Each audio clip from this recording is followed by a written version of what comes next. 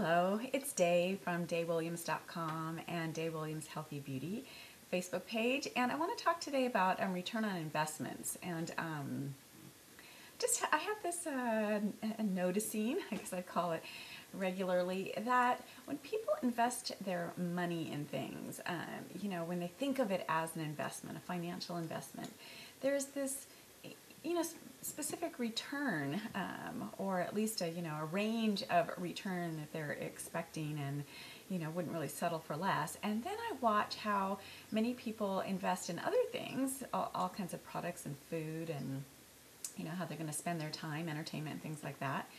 And um, and what I've noticed in particular is in the realm of food, how little return people expect on their investment that they'll just settle for something that just gives them hardly anything back regardless of the whether it's inexpensive or even pricier. So i, I want to offer this idea and um, perhaps it'll plant a seed and inspire more conscious choices as you're proceeding as far as what you're going to put in your mouth drinking or eating. And um, i really think about that. Think about what does it have for me beyond just that it's going to taste good in my mouth? I want more than that. I want that I want things to taste yummy, and um, I have high expectations around that.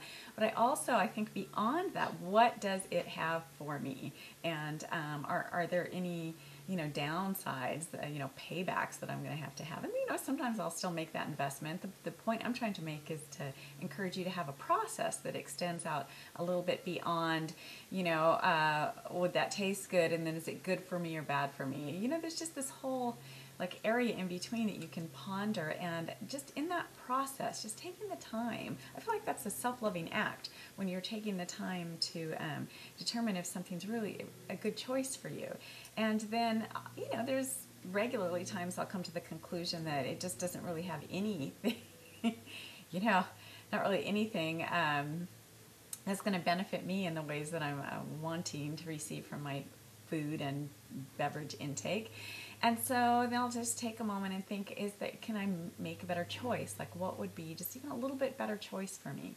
And um, and I ask for guidance around that. I just ask that question and I listen, or I just notice what in my field of vision starts to uh, come to my awareness. So hope that helps. I know that uh, making food choices for ourselves, good food choices, is one of the biggest conversations on the table at this point, in the, at least in the circles I run in. And um, as always, love hearing back and love if you want to share this video with anybody that you know who's also reaching for more ways of taking good care of themselves. And um, yeah, I think that's what it's all about regularly finding inspiration and then coming up with uh, choices, cultivating your skill at making choices that are always continuing to be improved, uh, making for improved conditions for yourself. So, there. Hope you're enjoying your day, whatever you're doing, and lots of love. Bye.